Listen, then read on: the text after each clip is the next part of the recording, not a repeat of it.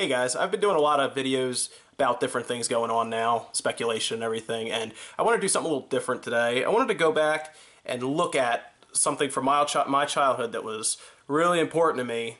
This was probably uh, probably 15, 16 years ago. I was about, you know, 10, 11, 12 years old. And back then, we didn't have internet we do now where there's high speed internet and everything. We were kind of dependent on magazines and basically TV to get a lot of our video game news and just, just gameplay videos and everything. And back then, we had a channel that's not on the air anymore. It's called G4. It actually went off the air probably two years ago now, almost.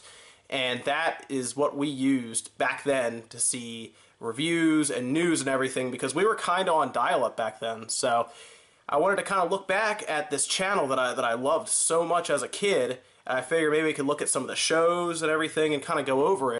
So maybe some of you, you guys who didn't see any of these shows, or even just come across G4 ever, could kind of take a look and just, just see these episodes that I'm talking about of things like Icons and X-Play. They had Attack of the Show. There's even there's even a show called Portal where they followed someone around EverQuest, an actual like like sprite around EverQuest, and made a whole story about it. So I figure we could look over all this stuff, and I could even go over what happened to them because eventually they turned into one of the worst channels on on network TV at the time. So why don't you guys sit back, relax, and we'll kind of look back at this old G4 channel that, that kind of fell by the wayside with the internet. Do you remember when G4 was awesome for gamers? You know, before they started playing reruns of cheaters and cops back to back for hours on end? Back when we had shows like Icons and X-Play and not Spaceballs, the animated TV show? What? Yeah, this was an actual TV show on G4, and you guessed it, it was terrible. Maybe we'll look at this sometime in a future episode, but for now, please just take my word for it. I think my favorite show at the time was Icons. Imagine documentaries based around gaming industry leaders, history, and literal gaming icons. The production value was high, and they would get interviews with all types of people, even getting Miyamoto several times talk about Mario or the original Nintendo system. As a young kid, I learned a lot from Icons, and I'll never forget the episode about the original Nintendo they showed just how bleak the video game market was and how much of a long shot the Nintendo actually was at the time. I mean, just take a look at the opening for this. Tell me it doesn't make you want to watch the entire episode right away. In an era when games were dead. Kaboom! There was virtually no console market in the US. Nobody bought consoles, nobody bought video games. An unknown company takes a big gamble. Nintendo was not well known. In fact, newscasters would mispronounce the word Nintendo. They, they just couldn't get it right. This is the story of the rebirth of the gaming industry. What we've done is to single handedly recreate a dead industry. Suddenly, Nintendo, a Japanese newcomer, comes in and has a new console and says, Hey, everybody, let's play games again. The Nintendo Entertainment System completely revitalized what was a dead industry. It re-injected life. It made kids love video games again. This is the NES. If you get a chance to look up one episode icons, make sure you check out the Nintendo episode. You actually might learn something new. When G4 first showed up on TV, it had like the best shows for gamers at the time. I mean, I was a little middle school kid who just came home from school one day, just flipping through the channels. You know, of course, you watch the basics, Toonami with Dragon Ball Z, you know, reboot and all of that. But I'm going through the channels afterwards, and I come across this this show that's just showing video game trailers, and it even showed gameplay videos. Now, as you know, I'm a little kid, I'm confused. I didn't as far as I know, there was no TV show that was about that. So I start looking through the guide at the time. This is new. We got this guide button on the remote that's that's pretty common now. Back then it was it was it was brand new. This guide button, you start going through, I start realizing this this whole channel is dedicated to video games. So you know, as a middle school kid, I'm I'm hooked now. I mean, who wasn't? Now at the time, the GameCube, Xbox, and PS2 were in the prime of their generation. Since I was young and had to rely on my parents to buy games, I wasn't able to get many new games unless Christmas was right around the corner. I love Cinematech because I could see in-game cinematics from games that I didn't have access to otherwise. I remember watching the cinematic from Onimusha over and over again, astounded by the graphics and violence. There was also a really cool 5 minute gameplay video of Maximo that looked great. If you didn't guess it by now, I was a GameCube kid at the time, so anything PS2 was new to me. There was even a more adult version of Cinematech called Nocturnal Emissions that only aired at night. It was Cinematech, but based around sexy cutscenes from games. This was obviously geared towards male viewers or younger kids who wanted to sneak downstairs at night and get their first taste of censored boobs. Now, believe it or not, back in 2002, we actually had to read magazines for video game news and reviews.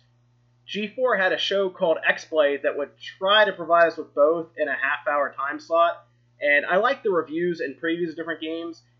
They even did top 10 lists on air, which was the first at the time, from what I can remember. I don't think I ever saw a top 10 list uh, in video form until I watched this.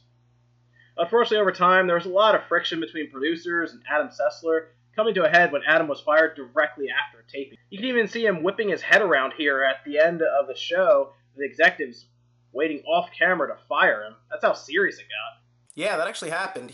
He was on set, finished filming, executives are off camera, ready to fire him, and you can see in the video he whips his head around and looks right at these guys, and that was just that was just the start of just a downward spiral for for all of G4, whether it be Cinematech, X-Play, even Attack of the Show. Ratings were slipping and slipping fast, and they really had no one to blame but themselves. And honestly, the media just killed them after that. I mean, you have reruns of cops, cheaters, and just some of the stupidest shows that did not belong on that channel nothing gaming oriented. You had one episode of Attack of the Show maybe a week, and that was it. Nothing else. And after that, YouTube, Let's Players, everyone just took over that whole media market, and that was it for G4. With slipping ratings and heavy competition from the internet, G4 decided to move away from what made the channel popular in the first place. They canceled most of their gaming related shows and started replaying more shows that appealed to the mainstream, like Cheaters and Cops. They even decided to acquire shows like Star Trek and Quantum Leap to pull in the sci fi crowd. By 2013, it was impossible to find any show that was based on video games on G4. And then, on December 31st, 2014, G4 ended its broadcasting the same way it began, with a game of Pong. I remember hearing about the last episode of G4. Uh, they were going to show, basically, they were going to show Attack of the Show, then they were going to show uh, an episode of Pong, basically just Pong, literally them playing back and forth, and it was gonna it was gonna end and signify the ending of G4. And I remember I sat down and watched this. This was midnight on December 31st. I remember it was it was New Year's Eve, and I was like, you know, I'm gonna watch it and I'm gonna I'm gonna see what happens. So they play this episode of Pong back and forth, and it just faded away into into darkness and it was you know it was really sad to see because in a way it kind of it kind of signified my my childhood as well kind of fading away and me just getting just older. And it was it was you know it wasn't a good feeling. I, I kind of watched this channel that I would I would watch after school, whether it be middle school or early high school, and then even a, you know my senior year of high school, watching that because they had 360 stuff on there. 360 came out my senior year of high school, and it was you know it, it was it was weird to see because in a, in a way it was it was kind of you know it was my it was my childhood just kind of fading away with this video game channel that to a lot of people might not make sense, but if you've ever had something that you you you know you had when you were a kid and it got lost, maybe understand. In this, it, it feels kind of weird to say, but in this case, I kind of I kind of got sad seeing this this channel that I had no affiliation with, other than just you know fond memories of just go away. And then I think they turned into the Esquire network, and and now you just watch American Ninja Warrior on it. So great. I'm glad they used the match of Pong to signify the ending of the channel. It just felt right. They ended the channel just the way it started. I couldn't help but feel older as I watched the game of Pong slowly grow smaller until it disappeared. Honestly, I was a little emotional. And that's it. After shutting down production, they haven't done anything else with G4, the name, any affiliated networks, and that's I don't see it ever coming back. Uh, at this point, honestly, YouTube has kind of become G4. If you think about it, you can go on YouTube, you can find documentaries on games, you can find let's plays, you could find news, uh, pretty much everything, competitions for esports. You can you can pretty much find everything that was on G4 on YouTube. So at this point, G4 technically became obsolete because a lot of us don't watch TV now anyway, and that content on YouTube is on demand. So I don't have to wait for a certain time slot to come on to watch icons if I want because people are making documentaries anyway. I think I like G4 because it makes me remember a simpler time No, not so simple where we were in the dark ages playing Atari, but a time where I was old enough to appreciate games, but not so old enough to have to worry about paying a mortgage or going to work every day. Back then, we were just gamers, not part of a system in an office building, stressed from deadlines or bills. It might not even be G4 that I missed so much as the time period. For all the crap G4 tried to acquire and push on their network, there were some truly compelling shows to tune in for. This was when the internet was still pretty young and most of us had nothing else to do but watch TV or play video games. So it made sense that a channel based on video games was popular. Unfortunately, as the internet became more popular and accessible with high speed internet introduced to the mainstream, we all just kind of fell out of watching TV since most of the content was online right away. G4 is pretty much what we get on YouTube now tons of videos based around video game reviews, gameplay, and even some comedy. I'll never forget G4 since it was part of my life growing up, and it's still worth checking out some of the shows since they are legitimately interesting and may hit a nostalgia bone or two. And that's it, guys. Let me know what you think of the video in the comment section below. Uh, and also let me know about some of your memories from G4 if you watched it when you were younger, or maybe you're just finding out about some of these shows now. Let me know what you think of them down below. Make sure you give us a thumbs up if you liked the video, and definitely subscribe. I'll do more of these videos going forward about different systems, games, anything like that. So until next time, guys, we'll see you then.